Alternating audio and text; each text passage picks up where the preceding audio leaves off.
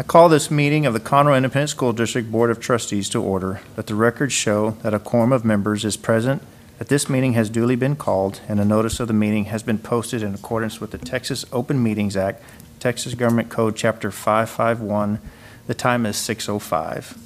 Please join us and Mr. Datron Williams in our invocation and pledge of allegiance. If you're so inclined, let's pray. Heavenly Father, we ask that you continue to bless this school district and every home represented here. Despite the many challenges of this year, we come before you in a spirit of thanks during this holiday season. Thank you for bringing us through this year and thanking you in advance for the blessings of the next year. We pray that our children and staff have a safe and happy holiday break. Now, Father, as we start this meeting and as our country begins with new leadership, let us decrease and allow you to increase in us. Grant us a continuous bounty of wisdom and grace in our discussions, decisions, and interactions with one another. In closing, please forgive us for our sins so that our prayers may not be hindered. We thank you, Father. Amen. I pledge allegiance to the flag of the United States of America and to the republic for which it stands, one nation, under God, indivisible, with liberty and justice for all. Honored to take this flag, I pledge allegiance to thee, Texas, one state, under God, one and indivisible. Thank you, Mr. Williams, and for everybody's participation. Like to move on to item 2A, I'm sorry, item 2B, Special Board Recognition, Construction Trade and Teacher Career and Technology Education Program. All right. No. Thank you, President Hubert. As uh, we were going to pull item 2A tonight, we'll, we'll uh, move that item to next month. But as we move to item 2B, um, you know, we could not have had such a successful school year without heroic efforts throughout the school district. And uh, our plan in the coming months is going to be to bring uh, before you different groups and highlight the work that they did that has helped us to not only open school but keep school open.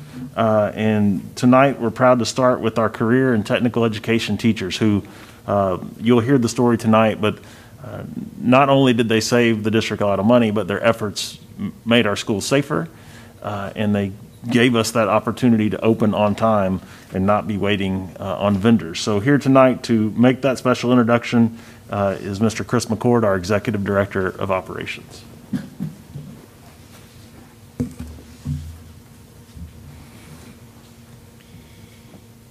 President Hubert, members of the board, and Dr. Null. Tonight, I'm here to recognize three of our district career and technical education instructors for their outstanding work to help provide for the safety of our employees and students. During the summer and early fall, Dennis Hom of Oak Ridge High School, Ignacio Saceda of Caney Creek High, and Mike Brown of Conroe High School volunteered to manufacture our own CISD-created Sneeze Guard desk shields. Their efforts came at a critical time as we planned for a safe opening. When shields of this type are difficult to obtain from vendors and retail for approximately $130 per stand. Through the efforts of these three individuals and CISD purchasing, we were able to obtain material to create 800 additional plexiglass sneeze guard desk shields for $15.50 per device, saving the district $91,600. Additionally, I would like to recognize Mr. Greg Ship, Conroe ISD Director of Career and Technical Education, for instantly volunteering, designing the prototype, and taking the lead on this pivotal project. I present these outstanding individuals for recognition tonight. Thank you. Thank you.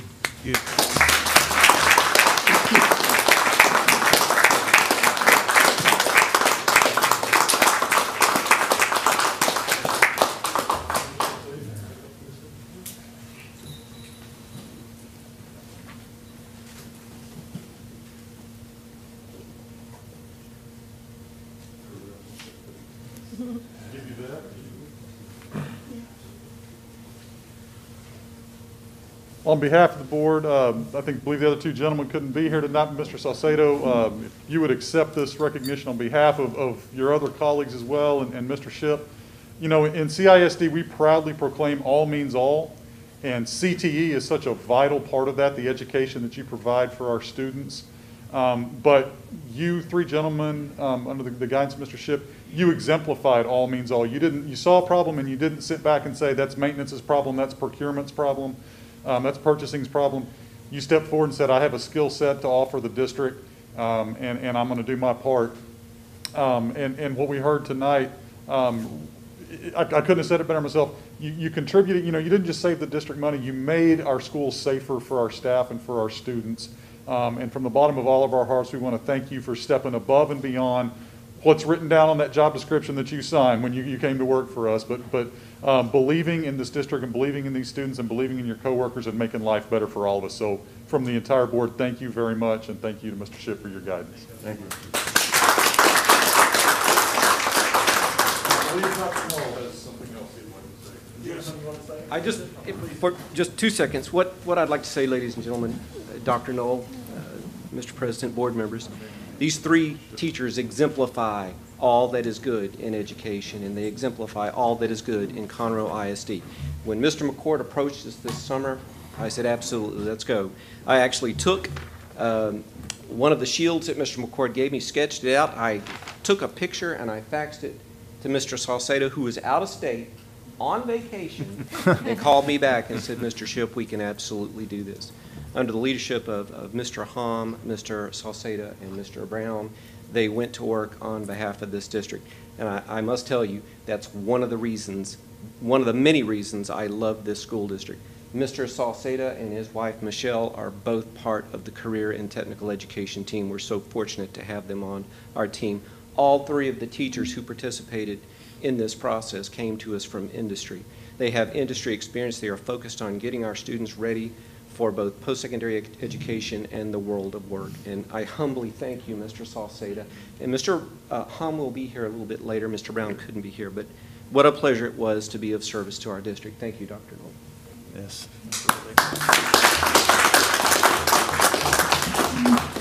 Well, Mr. Ship, I don't want you to escape here. I'd like to have you come back. We don't get to do this very often in board meetings. These things uh, often happen, you know, in a ceremony quietly here in the admin building or in ceremonies uh, on campus level. But uh, tonight, we're going to get to celebrate a retirement.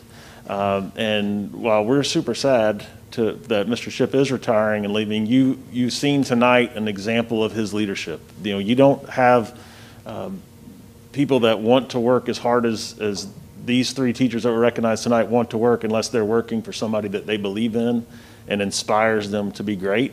And uh, so tonight, uh, we celebrate you, uh, Mr. Ship, as you uh, go off into retirement. This is perfect timing that we celebrate CTE tonight and we get this opportunity to celebrate you. And so uh, it's my honor to present you with your plaque honoring your 34 years uh, 34 of years. education, and we wish you all the best. So congratulations.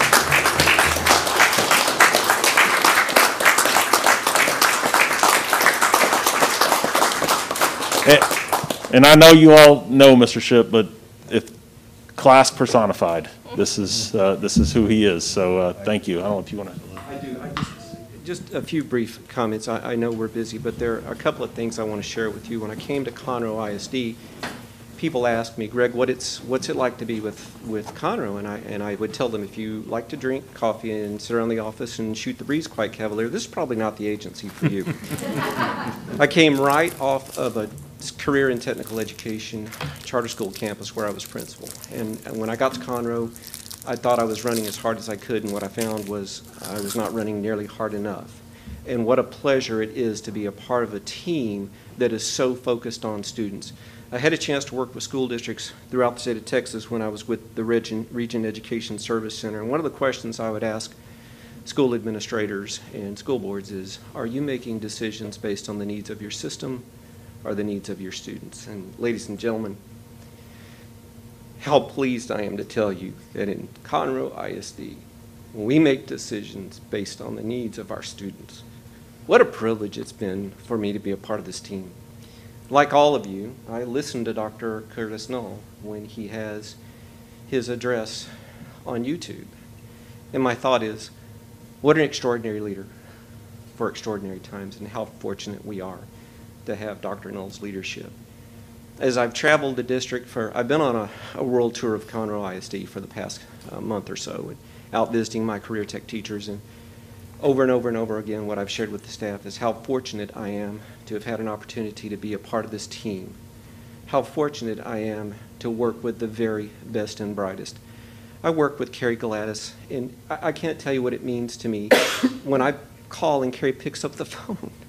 And for a guy like me to have access to a Carrie Galatas, and Carrie, thank you for leaving me feeling smarter than I really am after every phone call. Your uh, presentation at the administrative conference was absolutely one of the highlights of the year for me, and I knew if I listened to you, I was going to be a better administrator and help better serve our district. Ms. Galatas, Dr. Null, Dr. Null's leadership team, our board, oh my goodness, what an extraordinary board we had. So intensely focused, so well informed, so passionate about the children we serve. All I can say to you is thank you. Uh, Where's Dr. Hines? Dr. Hines made the call. Now, I was at my charter school, and I, and I told this story last week.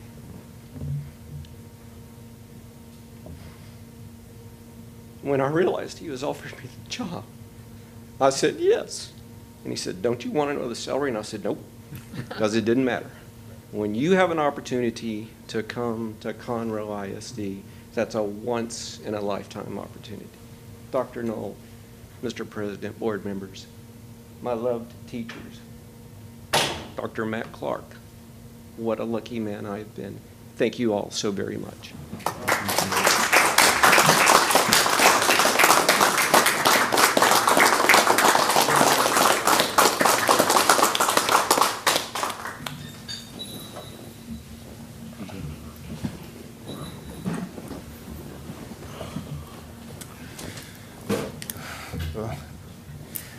Kind of want to let that sit in for a little bit before we move on, but I Yeah, you don't want to be the next, the next item, that's for sure. Yeah.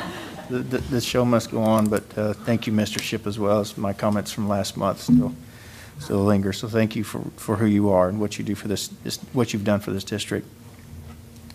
Ms. Godfrey, do we have anybody signed up for? Okay, very good. Uh, moving on to item four, which is the consent agenda. I have not heard from anybody to pull any items. Do we have a motion? Motion to approve as presented. Second. I Have a motion and a second. All those in favor, uplifted hand. Any opposed, same sign? Very good.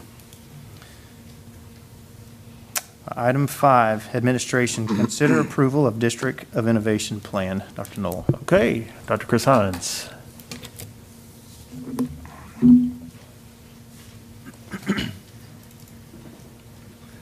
Good evening, President Hubert, members of the board, Dr. Null.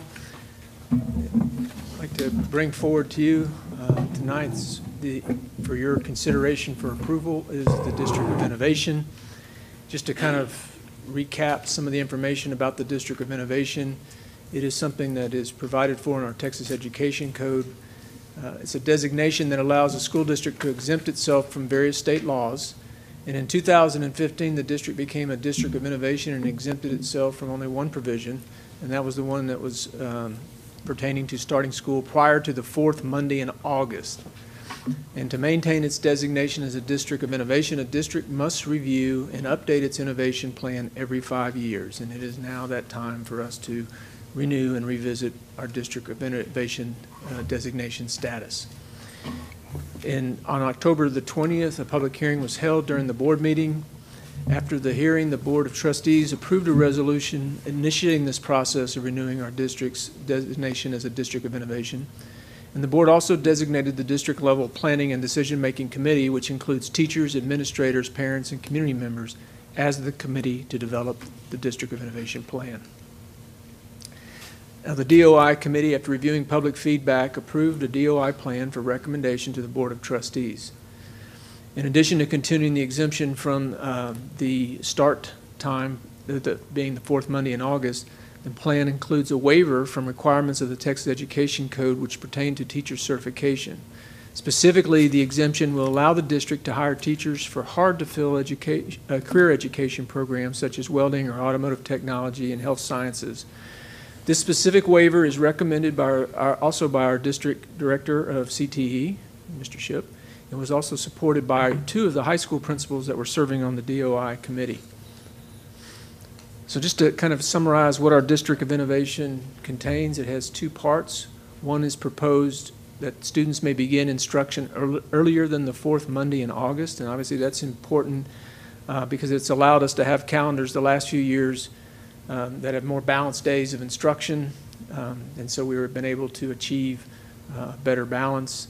Uh, does mean starting earlier, and it also enables us to conclude that semester prior to winter break. And then the other one, as I mentioned already, is uh, pertaining to teacher certification, and that is proposed a teacher, a person may be employed as a teacher without an appropriate certificate or permit issued by Subchapter B of the Texas Education Code if the person in the subject matter to be taught has relevant work experience, formal training or education, and licensure or certification or registration. Now, the district would use this exemption to fill CTE positions in areas where it cannot find qualified applicants, so we would always go through that process first. Um, And we've had a couple over the years where we haven't been able to start programs. This benefits the students of the district by providing opportunities for the district to consider qualified industry professionals who may have industry training and certification but may not hold uh, a teacher certification. And just to kind of remind, this has become, become even more important when we switched over to endorsements at the high school level, which um, emphasize specific units of study, including business and industry. And so many of our students seek to earn endorsements in areas such as manufacturing or technology and health sciences. And sometimes finding certified teachers uh, in these positions can be difficult. It often depends on the economy and, uh, and how that goes. An exemption from this will allow the district to hire qualified candidates who may not be certified teachers, but who bring authentic field and industry knowledge and skills to the classroom. Such professionals can provide students with not only unparalleled learning experiences, but also real-world work experiences as they typically hold multiple certificates in their areas of expertise.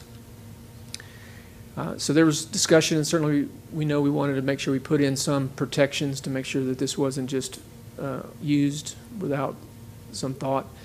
So to ensure that this exception is used to obtain the most qualified candidate, the district will implement, implement administrative procedures that require establishing credential guidelines for the position prior to doing this. Two, is ensuring that there is a training plan for this position. And then three, seeking the superintendent's approval. Uh, We would establish local credential guidelines that require the subject matter to be taught, some kind of requisite experience, and it would be based on the particular area. Um, And then teachers would also be required to get training in pedagogy and classroom management.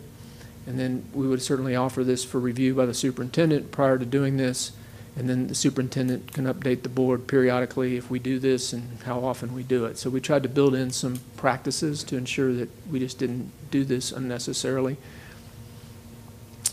So just some reminders about the plan. Um, It must be renewed in five years. The board can terminate or amend this District of Innovation Plan at any time by following the procedures set out in Chapter 12A. And, and just also a reminder that just because we approve the plan, it doesn't compel our district to actually use any of these exemptions. So if we wanted to, for example, not start school till the fourth Monday, we can always do that. Or if we didn't choose to hire anyone without a certificate, we can certainly consider, still do that, so. At this point, I just want to say that the district level planning decision-making team does respectfully request your approval of the plan. Okay, very good. Thank you, Dr. Hines. Do we have, do we have a motion? Move to approve. Second the motion. Motion and a second. Any questions for Dr. Hines? Yes, I I do have one, and and I don't know if this is a Dr. Hines question or a Mrs. Galatas question, and- and I hate to put either one of you on the spot, but um, in reading through the way that the, the proposed language is written, and then looking at the explanation um, provided, this is, is designed to address CTE, but in the language in the proposed statement, it doesn't specifically mention CTE. And perhaps number three is the catch-all there, where we include licensure, certification, and registration. I'm just, I'm imagining some, some some scenarios in my mind where somebody who works, has worked as construction materials testing decides they want to teach physics or something like that. Um, And I, I mean, I'm fully on board with the CTE component of it, but since I don't see that specified in the proposed language, that And and that's really, we're writing kind of our specific rules. We're asking for a waiver from the one rule, which is very broad.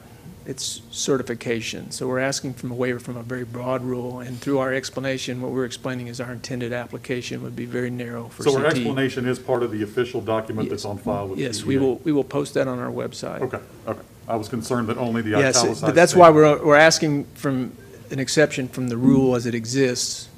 We're explaining how we will apply it. Okay, thank you. Yes, sir. Dr. Hines, I- and I think I know the answer, but, so we have teachers that come that may not be certified, but they want to go back and get an alternate certification because they came from industry and now want to teach. This is not the same thing, is my understanding. We are basically exempting them from having to get any teaching certification, but we are putting them through some pedagogy of, of classroom management and Yeah, And I really, yes, the answer to your question is yes, and, Okay. and and honestly, I don't really know that there are too many times that we would actually ever use this. There, you know, I think there was a, I was racking my brain, um, way back when, when I was principal at Oak Ridge High School, we were trying to start a healthcare science program, and we just couldn't find anybody, and we didn't start it for a year, because we couldn't find anybody at that point. And, and I remember talking to a- a, a, applicant who had been a nurse for several years, um, and she was just like, yeah, I just don't know if I'm going to go back to school. But I, I train all these nu- new nurses, and so she had a lot of qualifications, and, and that's probably the best example I can give you of somewhere we might say, yeah, this might be a time we need to do that. Um, generally, a lot of folks would be willing to enter into an alternative certification program, and that certainly is the best route because it formalizes the training. So a- again, I'm not, you know, anticipating this is something we would use very often, but it's nice to have. And as a available. follow-up, my understanding, though, is the way it- the language is written, we would go through the normal process and try to find a certified teacher. Should we come up short in that area and not be That able would to, trigger this, yes. Then that triggers the exemption. Yes, sir. Okay. That's how we would use it. We would go through the normal process, and then if we don't have any luck, we circle back and trigger this process. Thank you. Very good. Any other questions? All right, all those in favor of the motion, go up, please. Very good. Any against?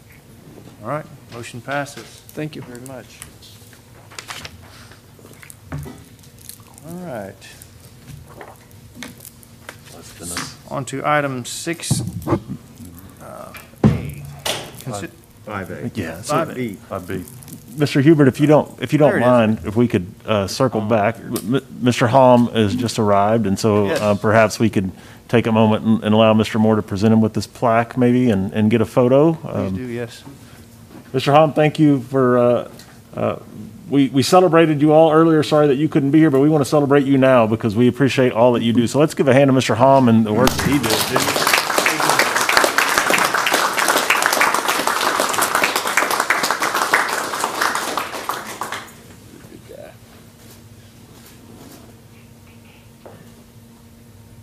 thank you very very much for joining us. And and on behalf of the board, please accept our, our great appreciation. Okay. Thanks, Dan.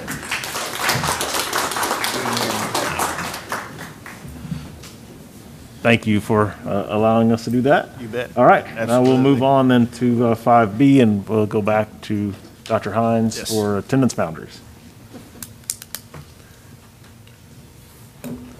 Thank you very much, President Hubert, members of the board, Dr. Null.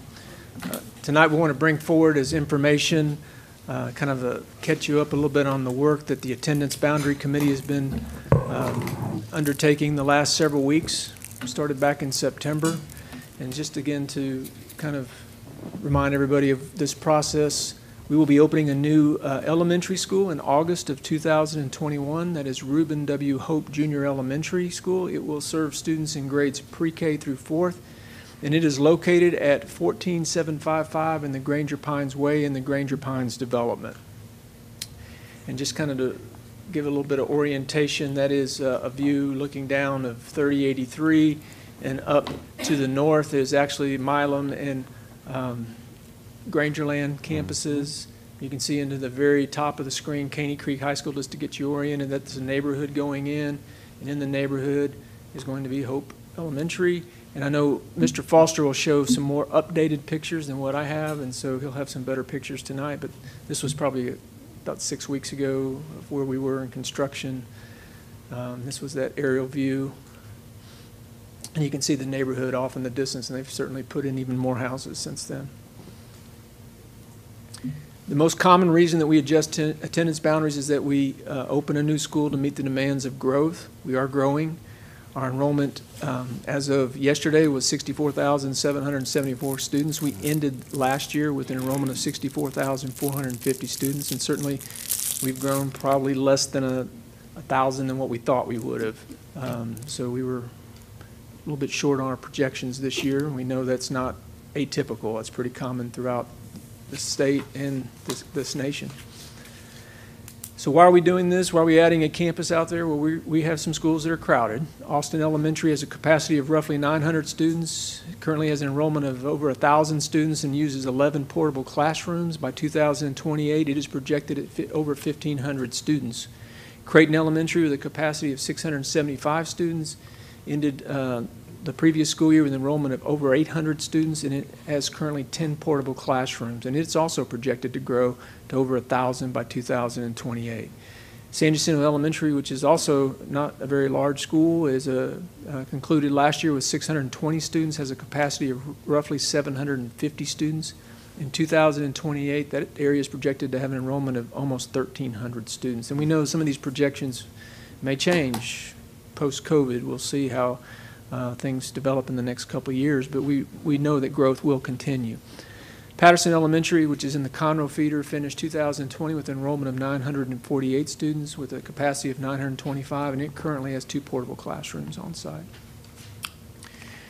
This is just a kind of a map of showing the different boundaries. If you'll note that dark blue line that kind of runs is actually the separation between Bozman Intermediate and Grangerland Intermediate School. And that area that's in the darker red represents that part that goes, currently goes to Austin Elementary, that is actually goes back to Bozman and then Stockton and then Conroe High School. So made a note of that because that's something we looked at during this process. The tan area at the bottom is the San Jacinto attendance boundary, the blue is the Milam, uh, the light green is the Creighton zone. And so as we go through um, and kind of show you some of the recommended changes, it- it'll begin to make a little bit more sense, and I do apologize. But we also have some larger maps over, uh, if you want to look at those later on. Also highlighted on this map, kind of which parts of this attendance boundary or area is growing, and these are the shaded areas where we know that there's projected growth in the next few years. And these are the projects that we're aware of, and there's probably a few more that uh, are coming online all the time. It does get confusing when we talk numbers, and I just always give the disclaimer, we always refer to geocoded, which is the number of students that actually live in an area, um, which is different from who actually goes to a school. And uh, enrollment will fluctuate. Usually it's, um, there's more students enrolled than are actually geocoded because teachers often bring their children to school with them, or we might have a special program where students come to that school to attend the program. And um, Pre-K is an example of that. Not all of our schools have bilingual programs. So this was just kind of the quick summary. Again, I won't read through all of the lines, but um, you can kind of see where we're at capacity and where we are currently. Some schools are a little bit smaller than where they finished last year. Some are larger, um, but we're projected to go, keep getting larger in that area. So when we start a process, we always kind of make sure we understand what are we trying to accomplish, so we'll know whether or not what we present to you is achieving our goals. So first and foremost, we wanted to establish a boundary that will populate this new school. We also wanted to provide crowding relief and some future capacity for Austin and Creighton, as well as San Jacinto Elementary Schools. Uh, Just to kind of summarize, we are projected to have uh, over 4,000 students in this feeder by 2025 with a capacity, when we open Hope, of 4175. So we, when we bring this campus online, we will be, uh, certainly will have the room to support the student enrollment. Without Hope, we are going to be way under capacity. And the eight-year projection is almost 5,000 students, so we know we're going to need an elementary uh, in the next few years. Dr. Hines, do these number include the pre-K These students that we'll be bringing on? These include our pre-K based on pretty much the same averages that we're using Okay. now. So um, we, you know, this was our first year of full-day pre-K, and we Mhm. expected a little bit of an increase in the percentage of attendance. We didn't realize that this year, so we'll see if that plays out in the next couple of years. This is a challenging process, and the committee understands that. We know schools are communities. Uh, Families often have a history with a particular school. They often choose where they live to go to a particular school. We know when we change boundaries, we disrupt routines because they're on their way to where they're going. Um, We have, and we haven't opened an elementary in the Caney Creek feeder in several years. So um, this is not something we've had to do in a while, and uh, it's, it's, it's a, it's a change. Um, And we, and we knew this going in, that in order to achieve the objectives that we set out, we were going to have to move a lot of people because of where the schools are. We were going to have to do some shifting. So we had some goals, uh, always through this process. We want to be mindful that we want a quality education. That's our mission. We want our schools to be top-notch. So regardless of how this lands, we want people to be happy with their schools. We established an ABC or an attendance boundary committee, and we have had a outstanding committee that has worked on this, as I said, for the last three months, and they've done a great job. Um, We draw boundaries that support efficient and effective use of our facilities and maintain fiscal responsibility. We want to reduce enrollment at overcrowded campuses. One of our goals is to try to get out of the portable business where we can. So we certainly uh, set out to, to try to accomplish that. Um, We also wanted to plan and allow for growth uh, through our new and existing campuses and future growth. And so we wanted to think about that as we went through this. We know that next year, we'll actually start this process for a new K-6 campus that'll come online in Conroe a, a year after that. So um, that is one we'll start planning for. So there's, we were thinking about that a little bit as we started talking about Patterson uh, and Anderson. Um, We also, we know we're going to have another elementary. We think it's going to be somewhere in the 242 corridor, so we were trying to be mindful of that as we were working on this. Uh, We know that in 2023, we plan to open a larger replacement junior high school for Moorhead, and at that point, the current Moorhead campus is slated to be converted back to an intermediate campus. So we want to be mindful of that, too, as we go through this process. So again, I mentioned we had an outstanding committee.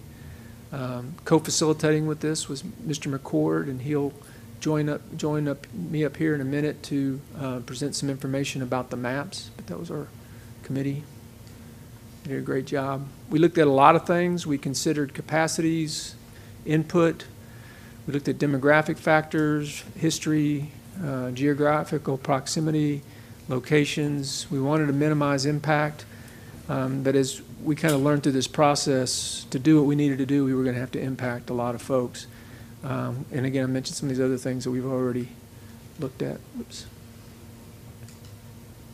We also looked at mileage and driving, and, and our hope was to improve the commute for everybody. We know that some, some folks in this plan will have further drives and some will have shorter. Uh, but we did look at that process and tried to be as efficient as we can. We have had three different um, presentations that we've made publicly through our Zoom presentations. Uh, we just had one last week, and all those are recorded and currently on our on our website. The committee worked through several different versions, uh, of which we brought forward three in November for public feedback. They were seven, 6.4, uh, 7, and scenario 7.1. So those are the three that we kind of landed on after studying many others. Uh, And our committee choice is 7.0.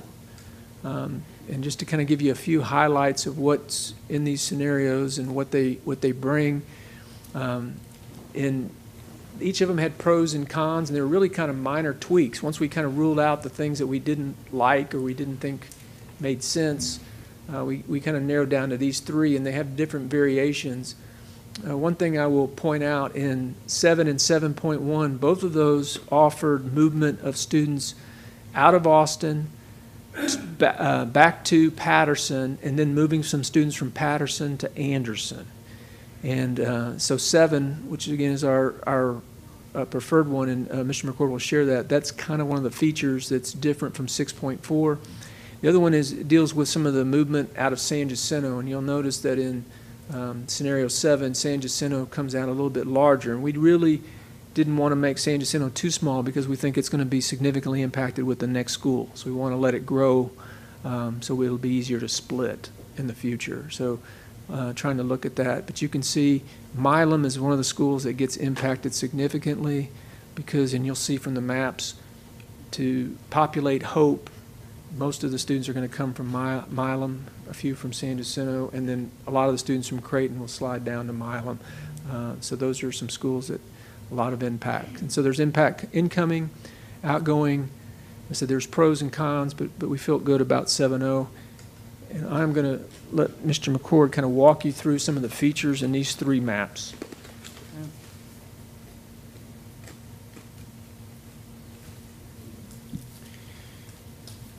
Good evening. I want to start by just reiterating that all three of the community presentations are on our website and are available to view on YouTube. And in these presentations, we take a lot of time to break down subdivisions, street names, real places where real students that we care about live and how they would be impacted. So uh, I'm going to give you an overview tonight, but those presentations online really get down to the nitty gritty with street names if you want to look at that later. So we'll start the overview, and we're going to start with scenario 6.4. And I think it's worth noting on 6.4, 6.4 does changes of alignment, and all those alignment changes are contained within the Caney Creek zone, as Dr. Hines had mentioned. So let's just start with the quick overview, and you'll find uh, Austin and Creighton. You're moving from Austin to Creighton, centrally located in orange. You'll see students that would move from Austin in the north to Creighton, located in orange. Students that would remain in scenario 6.4 as part of Creighton and already attend there are in yellow. Transitioning as you go south, you'll see from Creighton to Milam, you'll see the darker blue area, or at least it's kind of dark. You'll see that area. Those kids would be transitioning from Creighton to Milam. Also, the lighter blue areas indicate zones that would remain from Milam that currently are Milam at this time. Uh, Going down south again, crossing over from Milam to the brand-new Hope Elementary. If you'll look south, and you'll see it represented by the purple shading, a number of areas there. And if you go all the way down to the south to San Jacinto, the impact to San Jacinto under scenario 6.4 would be two areas would move from San Jacinto to the new to the new Hope Elementary, and that would be 31B and 33C. And we'll come back to 33C uh, shortly.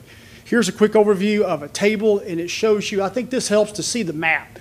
So this is what the map would look like when it's concluded if implemented under scenario 6.4. And you can see how it would look aesthetically and for movement and roads.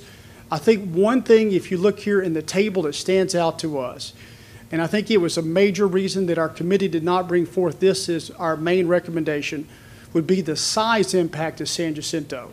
Uh, San Jacinto would remain uh, pretty, would not remain, it would be very small.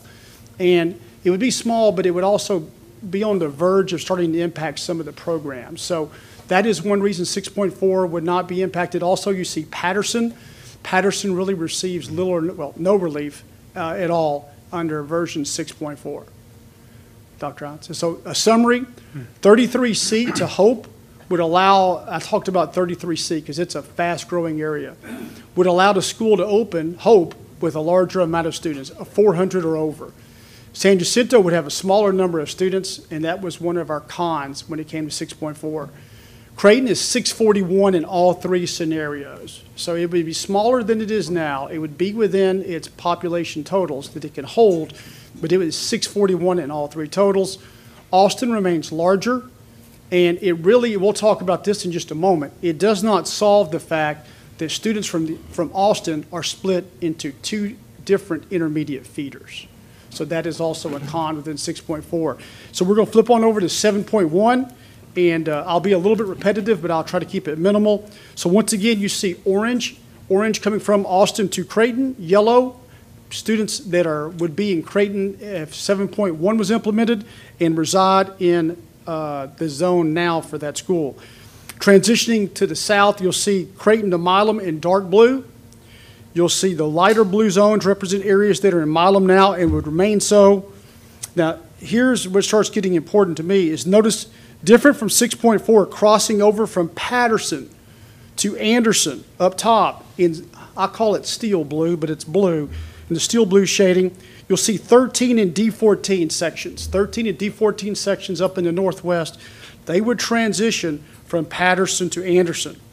Likewise, transitioning in the green, at least it's green to me. Likewise, transitioning from Austin to Patterson and Green on the west side are 26C and 27A. This is important because note, this would take them from the Caney Creek feeder to the Conroe High School feeder cleanly pre-kindergarten through 12th grade. Going down south, changing from Milam to the note, to the new Hope Elementary in purple as before. Purple would denote the Hope Elementary uh, boundaries. Specifically, San Jacinto would lose two sections on its border in this iteration. 31B to the new Hope Elementary there on the east, and also 33C, which would be on the western side, which is, I said earlier, a fast-growing area. So it's really, kind of in summary, it's noteworthy that 26C and 27A there in the west would move from Austin to Patterson. And Patterson, in this iteration, version 7.1, Patterson does get some relief, and Anderson gets kids that it can very easily hold. So it solves more uh, things than the first version, 6.4, does. And going on to the next slide, here's kind of a uh, overview. It, it does provide a larger geographical footprint for Milam. So, Dr. Hines, can you go backward just one? So you'll see that there, and the biggest, the larger geographical footprint is really that 34A section there on the western side. So that, that is something that will contrast uh, to version 7.0. So if we can go back to the next slide, Dr. Hines. San Jacinto would still have a smaller number of students, which is a major con, was a major con, and is a major con for the committee. Creighton still is 641. Austin, look there, it does receive some substantial relief for Austin. It does help them. Milam increases to a good number. Hope will be 400 or over once everybody's there. It gives better numbers to Patterson. It gives better numbers to Anderson. Note that version 7.1, scenario 7.1, does move the largest total number of students of all three iterations that we look at. So that is 7.1, and going to the next slide, this is the version that the committee overwhelmingly uh, supports and is recommending. It, it also addresses a larger number of issues, providing boundary help not just to the Caney Creek zone, but also to Conroe High. Again, as with the, uh, the previous iterations, orange is from Austin to Creighton, yellow is existing Creighton students. Transitioning from Creighton to Milam is the dark blue, and it really looks dark blue in this picture. That's very helpful. The light blue zones still represent areas that are, that are Milam now and would remain so. Crossing over from Patterson to Anderson at the top left in steel blue, that would be Patterson to Anderson once that's 13 and D14. Likewise, just like with the previous version, transitioning from Austin to Patterson in green. And remember, that's not just going from Austin to Patterson. That's going from the Caney Creek zone to the Conroe High zone, or 26C and 27A. You can see purple, most of the purple moving from Milam to Hope Elementary. Uh, Now, this version two, low, and Dr. Hines can point out, so 34A in this version would go to, uh, to Hope. And what that does, it really gives a larger geographical footprint to Hope as Hope begins to get established as a school. Uh, San Jacinto Elementary in this iteration only loses one section, and that is 31B there in the southeast corner. And that leaves 33C uh, right there. And a valuable reason to leave 33C there is that is a fast growth area. And as we possibly, pl- well, we, we plan to open up a new uh, flex school in Caney Creek, that gives us some ability to be more flexible uh, because it's going to be a larger number of students in San Jacinto. And once we start having to go back and relook at this again, that will be very, very helpful to us. And, you know, I just think it's really important having kids of my own, understanding how the world works. If you look at the green, just having 26C and 27A cleanly in the Conroe feeder is nice. You see Patterson get relief, and I think that is helpful. So, uh, I just, looking back, uh, just going over the greatest positives coming out of the committee for scenario 7.0, and it separates it from the other options to us are this, is that San Jacinto would retain a population of over 400, giving a lot more flexibility and ability to have really effective functioning programs everywhere, including San Jacinto. 7.0 will allow us to maintain a bilingual program at San Jacinto. And it's very important to their students, their parents, the school, and the community. By keeping, as I mentioned, 33C with 7.0, it gives us ability to maneuver when a new Caney Creek feeder uh, elementary comes online.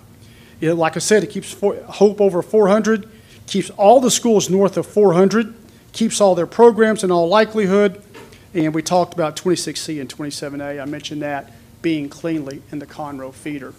So those are our, uh, here's a summary of it, and it just really reiterates what I just said. You can look at the numbers. The numbers are really attractive compared to the others. I would direct you here too, you can see the bilingual numbers in the middle table. And you can see what this brings to the table, yeah, well, literally, is that uh, being able to keep that bilingual program at San Jacinto, which is really important to us. And was really important to the committee.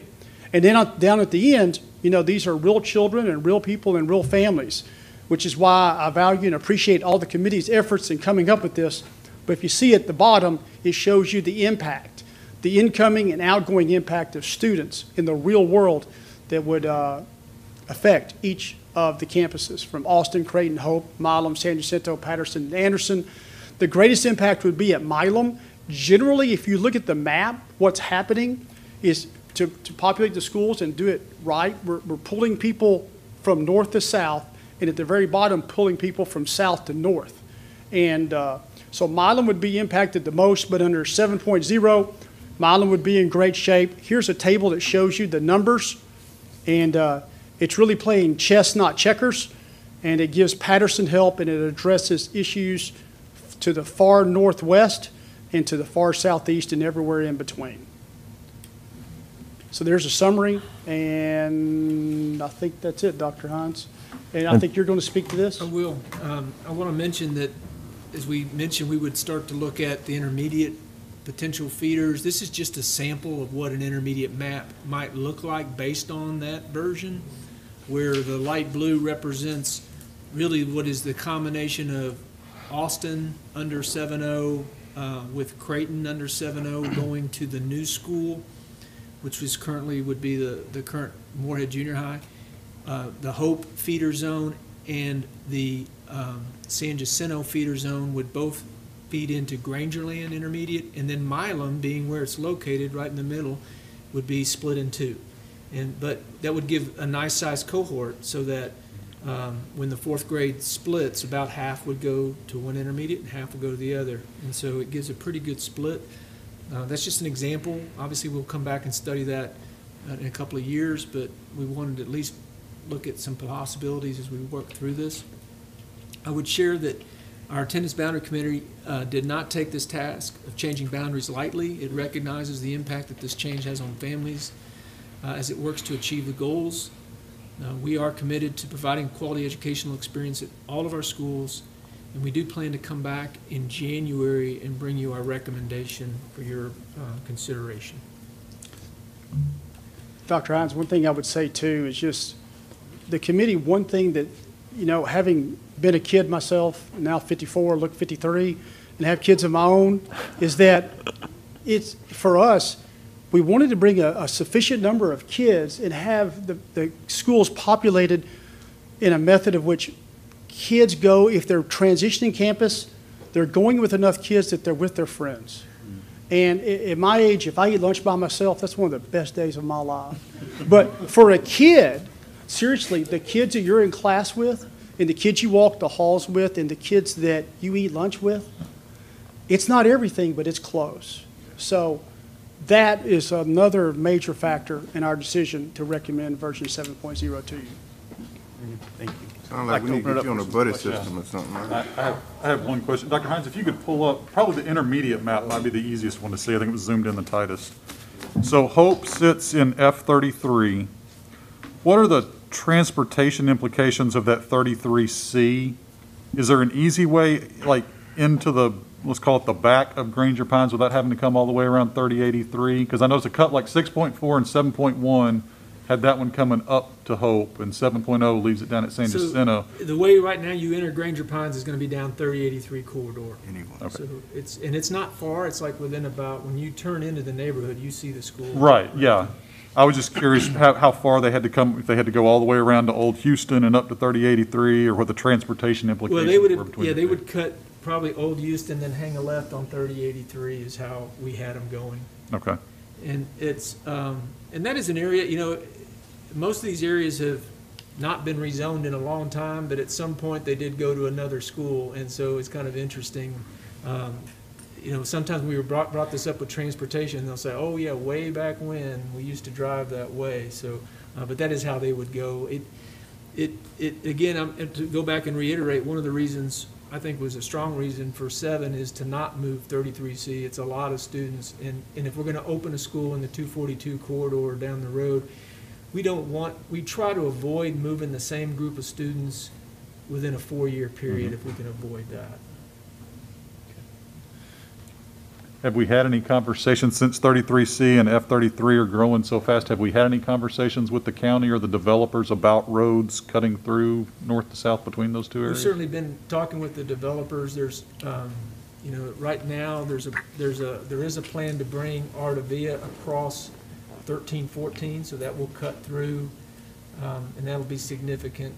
Um, You know, I'm not aware yet of anything that's gonna go back to thirty eighty-three to the north. Okay, But a lot of that's oil fields in there, and there's some tricky low land and some other challenges. okay, thank you.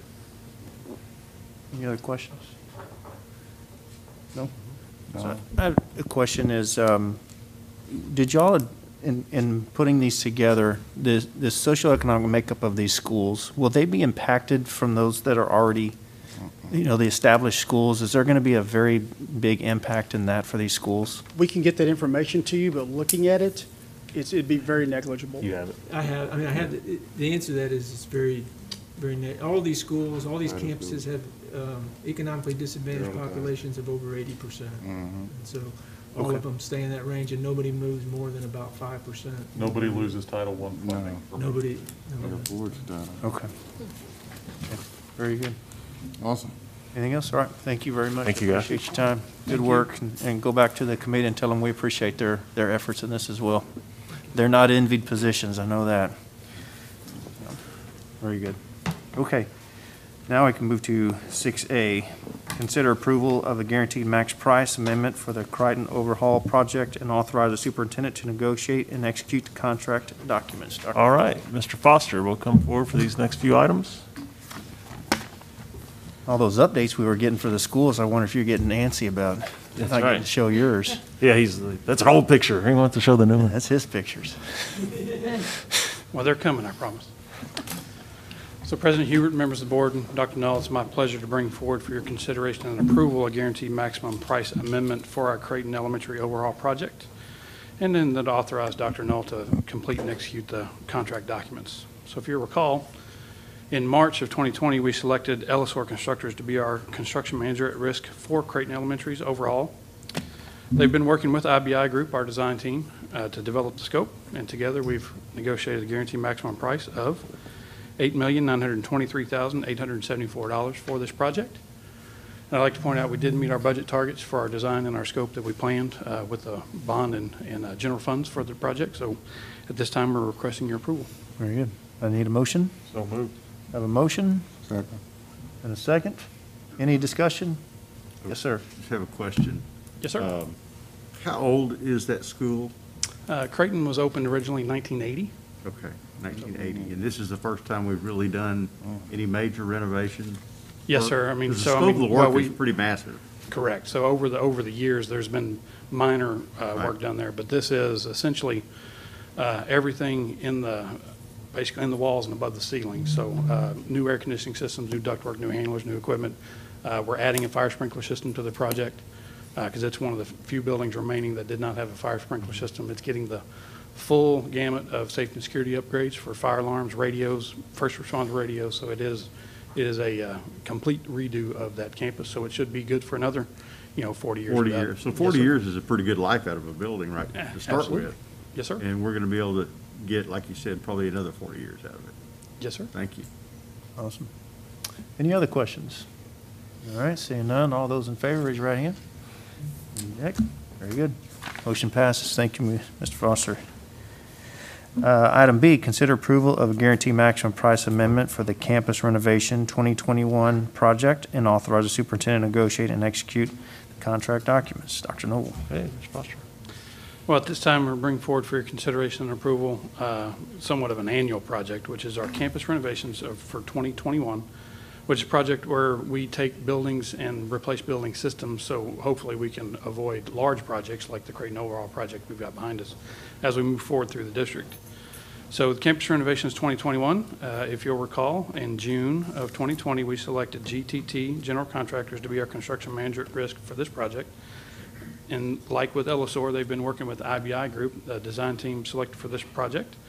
Together, we've worked uh, through the scope and the budget and, the- and came up with a guaranteed maximum price of seven, guaranteed maximum price of seven million, six hundred ninety-five thousand dollars. And we're working primarily here at Armstrong Elementary, which is a kitchen overhaul, kitchen addition to uh, make a more uh, efficient and uh, better to serve the, the population in Armstrong. And we're doing a, a, uh, uh, systems overhaul at Riot Elementary, which is air conditioning upgrades, much like we do at a campus uh, every summer. And this is, at this time, we're requesting your approval. Very good. We need a Move motion. approval? Of of a motion? Second. We have a second. Any questions? Seeing none, all those in favor? Any opposed? Very good.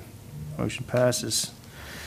Uh, Item D, we're at D or we're at C? C, We're at C. C. Consider approval of the guaranteed maximum price amendment for the new junior high school in the Caney Creek Feeder and East County Transportation Center project and authorize the superintendent to negotiate and execute the contract documents. All right, Mr. Foster. At this time, we're bringing forward for your consideration and approval, uh, guaranteed maximum price for a new junior high school in the Caney Creek feeder zone, uh, and also an East County Transportation Center project. And again, to authorize Dr. Null to complete and execute the contract documents. So in February, uh, you, our Board of Trustees, selected Joris General Contractors to be our construction manager at risk for this project. We paired them with PBK Architects, and together, they've worked together uh, and generated the scope uh, for both the junior high and the transportation center uh, for that project. Uh, We've negotiated a guaranteed maximum price of sixty-seven million, four hundred fifteen thousand, seventy-seven dollars. And we're, this time, we're requesting your approval. All right. We have a motion? So move? We have a motion. Any seconds? Second. All right, I have a motion and a second. Any questions for Mr. Foster? Yes, sir. Sorry. Um, In comparison to the cost of Stockton Junior High, how does this one fare? So it- this is a little bit more expensive than Stockton, mainly because the building is physically larger. So the Stockton Junior High had uh, capacity of 1,400 students, so the new Caney Creek Junior High is scheduled for 1,600 students. So it grew uh, several science labs, several classrooms, uh, in overall capacity. Uh, It also has some, some water issues on that site, so not to mention drainage, but I'm talking about domestic water. So we've included Right. uh, the conversion of Caney Creek High School's football well. field to a turf field to free up some water from our wells that we own and operate to be able to uh, deal with that, with this campus. Uh, But it does include some of the things that Stockton had that just return on our investment. So the solar panels that we had at Stockton, Yes. which have been successful, uh, will continue uh, at this campus. Uh, With the combination of the transportation center, which we, we tried to get more than we're, we're bringing to you, but we got everything that we promised uh, when we were advertising the bond. Uh, We'll be able to use the covered bus area to uh, use the, to set up the solar panels rather than using clear ground area. I Okay. mean, so we're trying to make use of the, uh, the Existing. structures more efficiently. Uh, And together, we feel like we've, we've met all of our budget targets uh, for the scope that we wanted. Thank Very you. good. Any other questions? Yes, sir. No? Very good. All right, those in favor of the motion? Any opposed? Very good. Motion passes. Thank you very much. And on to D, receive capital improvement updates. Mr. Foster. All right, this is where I get to show you my up-to-date pictures. uh, for our capital improvements we have underway throughout the district. So I'm going to start with Hope Elementary, uh, which in the near future we'll have an attendance boundary for, which is a good thing because the project is on schedule. Uh, Scheduled to open August of '21, um, so you can see from this overhead shot. It's the same angle that we showed you last month, but so you can see the progress. The- We're calling the building uh, a dry state currently, so the windows are in, the masonry is about 80% complete, so they're, are worked from the back to the front. Uh, So if you were to drive by there now, you'll see they're working on the brick and, uh, and the brickwork in the front of the building. Uh, On the inside, we're starting to see building systems, things come together. So this is a, a framing shot of the interior of the library. Um, So it just kind of shows you the complexities of things that go on inside the building. Oh, back up. So we're starting to see colors and finishes. Uh, The, the color patterns for Hope Elementary follow the Caney Creek feeder zone, so you'll start to see that come alive over the next several, several months. Uh, We're doing tile work, ceramic work, uh, in the bathrooms and restrooms, getting ready for uh, the fixtures and, and other things to come into the building. Uh, We are working with Entergy right now on permanent power, so the goal is to turn on the air conditioning systems in the building this month, which is, everything seems to be working uh, swimmingly towards that goal, uh, which will put us in a good shape to finish in August, uh, like we were telling. At Runyan Elementary, which is, uh, the primary focus is to get a PE classroom. So at Runyan, we had to do some shifting around on the inside. So over the Thanksgiving break, we moved students into the new pre-K classrooms. So as you can see, it's obviously in use with backpacks lining the hallways.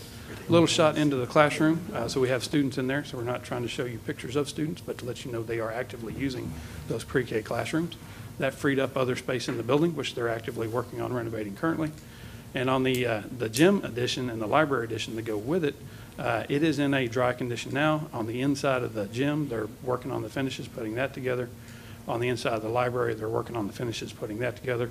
The goal is to move the library from its current location into the new facility uh, over the winter break, and then we'll finish up the renovations to, the- and recapture classroom space in the main building from where PK, pre-K came out and where the library came out uh, over the, in- during the spring semester, and then wrap that project up in the spring. So it is currently on schedule, and all the promises the contractors have made for the turnover dates have happened, just like they said they would, so everything's going well. At York Junior High, our building addition to increase the overall capacity at York Junior High. You can see it's a uh, multi-story classroom addition, uh, and it is a cafeteria expansion in the middle of the screen, and then towards the top of the screen is the fine arts and athletics extensions to get the uh, additional capacity we need for the programs in that building. So the first floor slabs are done, the second floor slabs are in, the roof slab, or the roof concrete is about to start, and you can see from the scaffold on the bottom of the picture, the exterior masonry is, is beginning work on that campus as well. It is scheduled to turn over in August of '21, and it is on schedule. At the Woodlands College Park High School, and it's another building addition. Uh, That building addition is to help us reduce our reliance on portables. Uh, That building is, as you can see in the bottom part of the picture, uh, the roof deck is on, the second floor slabs are in, so they're putting the roof membrane on now to bring that building into a dry condition. Masonry will be starting in the very near future. So the building, the classroom addition is on schedule. It's scheduled to turn over in August of '21. But at the main campus, so College Park is old enough that we've worn out the carpet. So they're working over the, this Christmas break to start replacing the carpet throughout the building. And that'll continue through, throughout the semester breaks as we get them into the summer and be completed over the summer uh, of '21. We've also been doing full building upgrades. So when we do the, uh, a, square foot addition like we're doing here, we're required to upgrade the fire alarm systems and the radio systems and the access control systems, things of that nature. So just like all of our major projects, the safety and security programs are, are being outfitted at College Park High School while we're there doing that major work. All that work is in progress and it will be completed over the summer. Uh, they started on it earlier, uh, in this school year, been working nights and weekends, and it is on schedule and scheduled to be com- fully complete in August of '21. This campus is, how, 15 years, 16 years? Uh, Right at it, so 16, 17 years. Yeah, so 16, 17 years. And it's been, uh, it's been occupied with a large number of students, so they, they yeah. have stomped uh, pathways and just about all the carpets you can.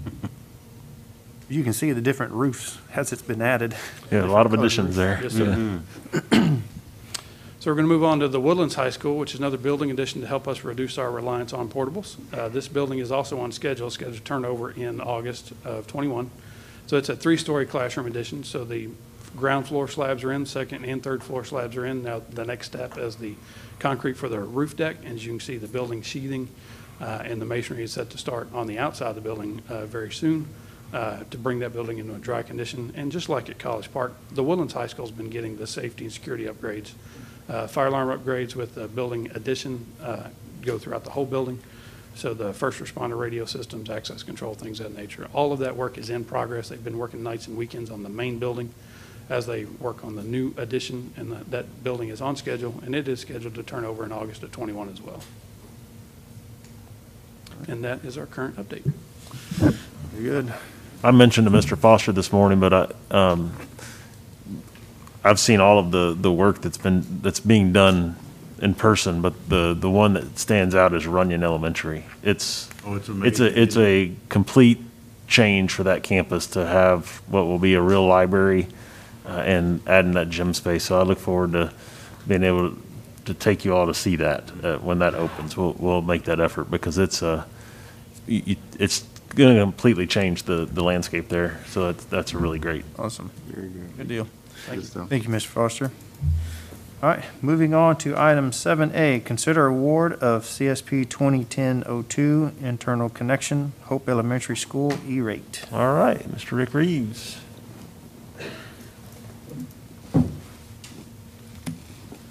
Good evening, President Hubert, members of the board, and Dr. Null.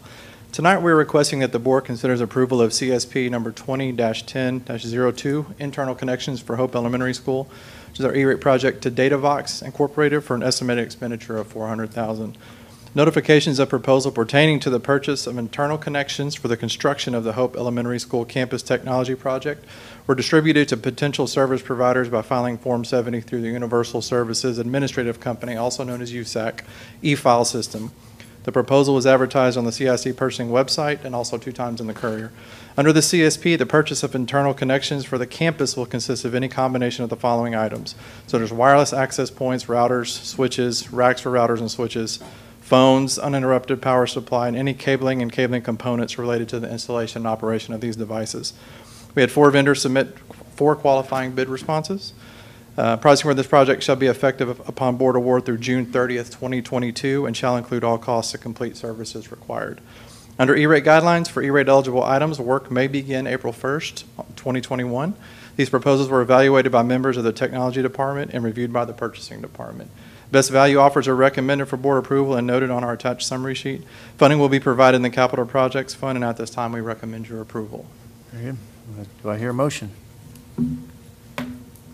I move we approve as presented. Very good. We need a second? Second. We have a second. Very good. Any questions? All right, seeing none, all those in favor? Say Aye. Very good. Motion passes. Thank you, Mr. Foster. Reeves. Mr. Reeves. I got more hair. Pushing on me.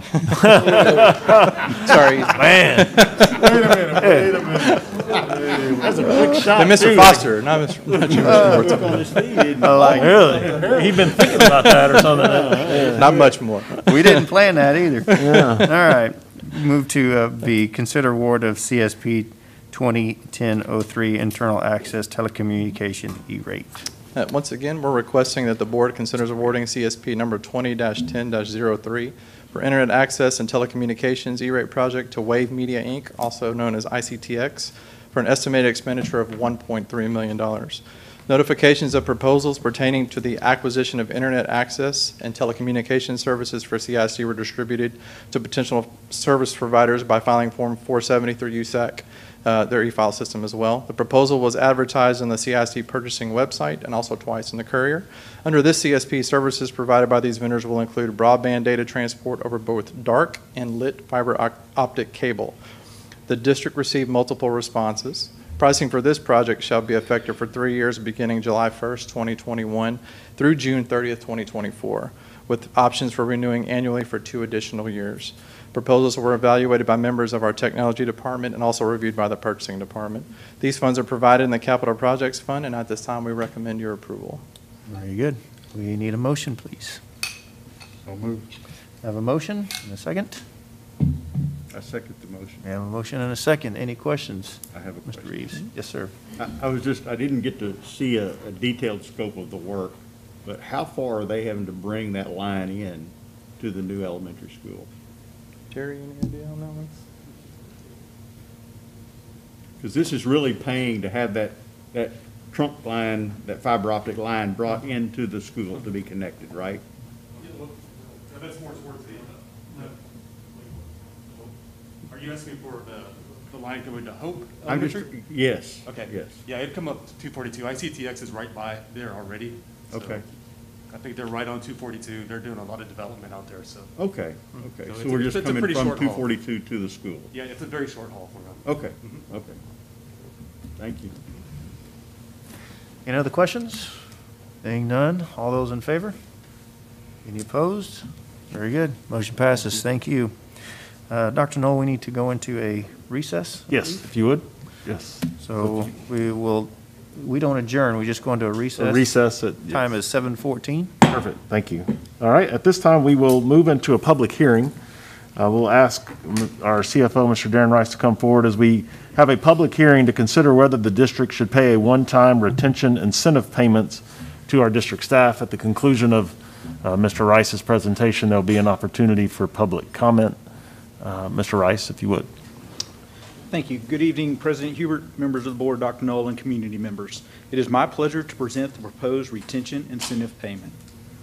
So what are we proposing? We're proposing an amendment to the 2020-2021 staff compensation plan and budget to provide for a one-time retention incentive payment for all employees. The retention payment will be paid to those employees who were hired by December 1st, 2020, and are still employed on January 15th, 2021. Since this is a retention payment, the district retains the right to deduct and recover the amount of, of the one-time retention incentive payment from any employee who does not complete the 2020-2021 school year. The one-time retention incentive payment will be paid on February 1st, 2021 for the following amounts. All full-time employees will receive a $500 check. Uh, Full-time employees are classified as any employee with a work sch- schedule greater than 50% and is eligible for the district's benefit contribution. Our part-time employees will receive a payment of $250, and they're classified as any employee with a work schedule of 49% and below. Payment will be made from the same funding source as the employee's annual salary, and the estimated cost of this payment is $4,050,000. So why are we proposing this stipend? It is undisputed that the response to COVID-19 and the prevention and mitigated, mitigation strategies have required unforeseen and unprecedented additional responsibilities and duties for all staff to ensure a safe instructional environment while facilitating excellent learning opportunities for students. These responsibilities and duties are far above and beyond traditional levels. We're proposing a one-time retention incentive payment to address employee retention during the pandemic. So the public purpose of the payment is to ensure that the district is able to continue to retain employees so that the district can remain open to serve students during the pandemic. This public purpose meets the legal requirements for the district to amend the staff compensation plan and budget. And that concludes our public hearing. Thank you, Mr. Rice. This time, we will open to public comment. Does anyone like to make a comment? You could come to the podium. Okay, seeing no movement, or, is there, I think that's well-deserved, um, and I think you really need to do that. thank you, Stuart, appreciate that. Anyone else? Okay, That will conclude our hearing. Mr. Hubert, Okay. meeting is yours. Thank you very much. We'll call the meeting back in. Do we, do we need to call the meeting back in at Yes. 7:17? Yes, sir. Very good. Moving to item 7D, consider adoption of resolution to make one-time retention incentive payment. Right, Mr. Rice. Yes, we're recommending the Board of Trustees adopt a resolution authorizing the district to make a one-time retention, retention incentive payment to all eligible, eligible employees as presented in the public hearing. Uh, full-time benefit eligible employees will receive a one-time $500 payment. Employees who work part-time will receive a one-time $250 payment. The cost of the one-time retention payment is 400, or is $4,050,000. I recommend your approval.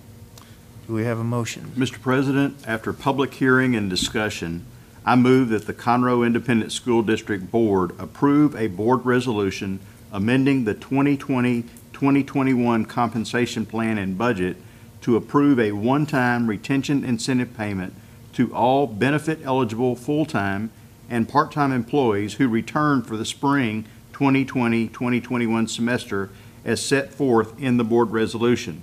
Such payment is being made for the public purpose of ensuring continued retention, high job satisfaction and productivity, and maintaining sound fiscal management and stability in times of unprecedented additional job duties. These funds, the funds for this payment shall come from the general fund. The payment will be distributed on February 1st, 2021, as further set forth in the resolution. Do we have a second? Second. Have a second. We have a motion and a second. Do we have any discussion? I don't have discussion, I just have a comment. Um, I have heard countless stories from both parents and from teachers uh, during this pandemic, how everyone has been affected. And I'm so grateful that we have teachers that have gone over, above, beyond, beyond, beyond, beyond, uh, in, in taking care of our students the way that Conroe ISD has done. And I wish we could do $5 million a person. I, I, I know that's crazy, but uh, your, your value, this, this does not show all the value that, that you have. Um, and I just wanted to personally offer my personal thank you for every teacher, every bus driver, every maintenance, for everyone that is involved in our school district that touches the lives of our students, either directly or indirectly. It makes a huge impact, and I just want to say thank you. Well said. Thank you for that. Any other, any other thoughts or, or questions? I think it's well said. Ditto. Yeah. Can't say it any Yeah, yeah, thank you for, well, well said. Okay, so let's call this to a vote. All those in favor of the stipend of the motion, raise your hand. Any opposed? And it is with great honor to say the motion passes. Thank you very much. Thank you.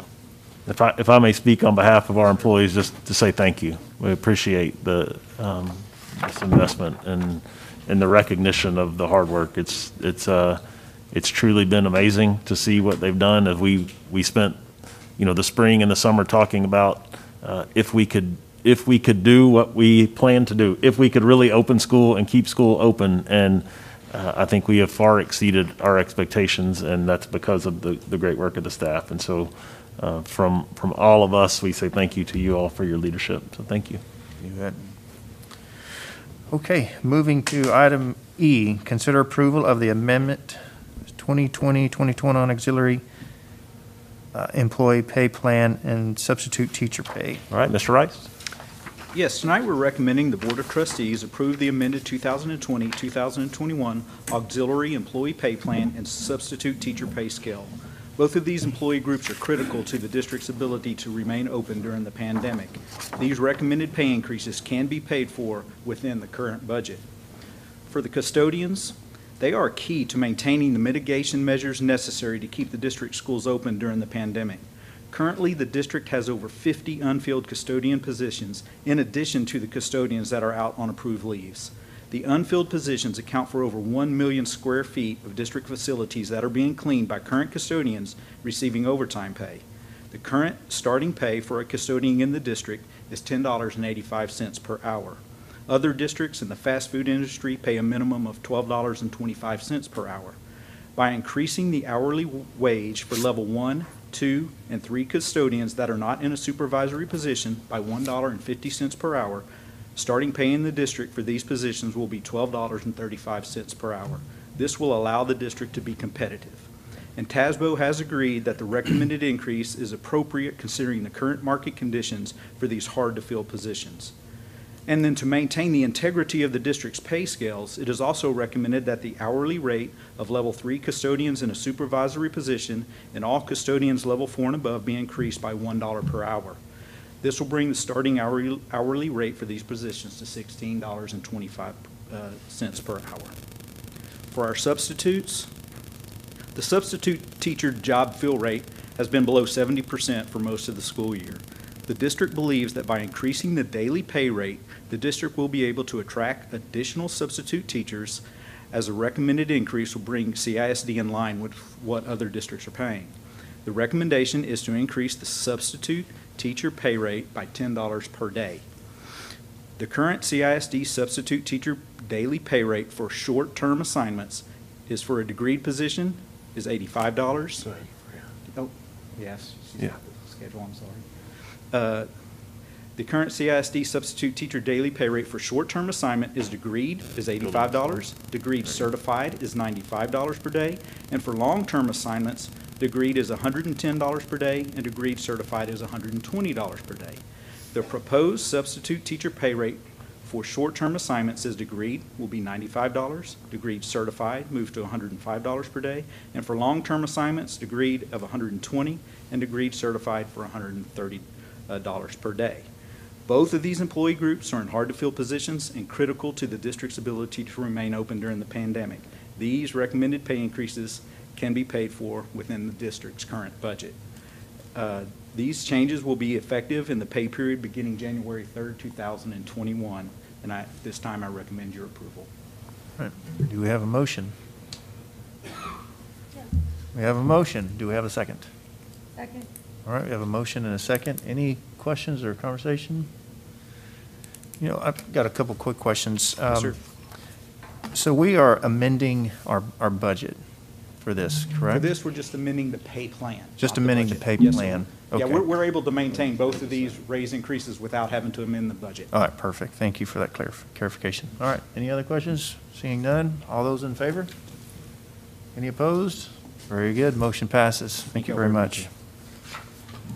Once again, I'd just say thank you. Uh, It's significant, you know, our custodians are carrying a heavy load, and because we are short-handed right now, they're carrying even more, and that's going to make a difference. But uh, I think I can speak on behalf of all the teachers. I know I spoke um, to our, to our uh, members that are here tonight.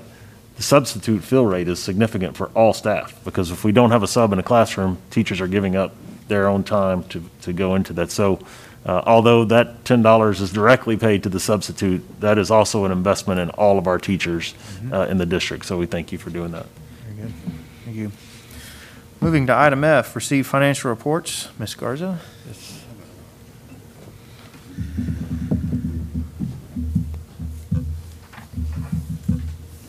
Good evening, President Hubert, members of the board, and Dr. Null. It is my pleasure this evening to present the financial statements as of November 30th, 2020. The First statement we'll look at this evening is the balance sheet. The balance sheet shows the district's assets, liabilities, and fund balances. Presented here are for the general fund, the debt service fund, child nutrition, and self-funded insurance. In the general fund, we have total assets of $568.7 million. In debt service, 121.5 million. Child nutrition, 4.4 million, and in self-funded insurance, 9.8 million. Taking a closer look at our cash and investments, total cash and investments in the general fund is at $203 million. The majority of that is made up of our um, state investment pools at 149.7, and the remainder um, in our TCG investment advisors at $52.5 million. Next statement is our income statement. The income statement shows the district's revenues and expenditures. Our revenues come from three sources, local, state, and federal program revenues. Total expenditures in the general fund are at $88.5 million. In child nutrition, $2.9 million. Tax collection progress, I know we're early in the process. Um, Tax bills went out um, in October, so we're s- slowly starting to see collections come in. We are trending about a half a percent above where we were last year at this time. We will see the majority of our collections come in um, over the next few months. We just wanted to give you an update on that. 2019 bond referendum, we currently have $105.3 million encumbered to date, leaving a total of 531.1 remaining. We have sold to date 311.5 million. That does include the most recent bond sale that we closed on last month. Self-funded insurance for the year, total revenue of $13.3 million, total expense of $13.3, so we are just at break even for the year. November was a little bit better month for us. Um, Participation at the wellness centers is averaging 357. Our investments as of November 30th, par value is at $547.4 million. Our combined portfolio has a WAM of 44 days yielding .294. Our longer-term investments with TCG have a WAM of 486 yielding 1.467. And our 90-day T-bill is at .088, which is our benchmark. All right, very good. Thank you, Ms. Garza. All right, uh, we do not have executive session today, so entertain a, a motion to adjourn. Motion to adjourn. All right, very good. Happy holidays, Merry Christmas.